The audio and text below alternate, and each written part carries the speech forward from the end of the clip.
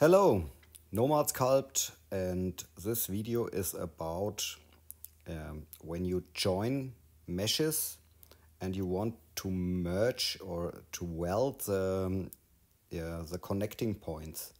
So the best thing is um, example. So here are two meshes. So when I select both and press join. So, and I use now the smooth tool or the, the move tool better. uh, so you see here um, the mesh is not connected. You see here the gap uh, between the meshes, uh, they are not welded together. Um, okay, how to do this? So that the mesh connects. So yeah, bring the meshes um, nearby as far as it, it's possible. So like this here at the moment.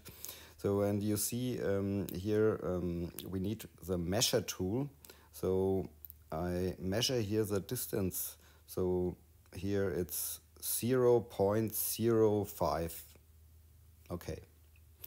So here in the debug menu here, interface debug, there uh, scroll down and you find here the developer yeah, tools here. Um, be careful. So yeah. And here is a slider with a checkbox. So join merge radius. So you see here this value and tap here and type 0 0.05 or yeah. So it's okay.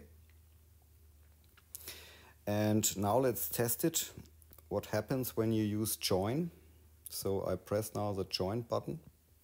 So you see now the mesh is connected together so now when you use here a brush tool, so and here be careful with this setting.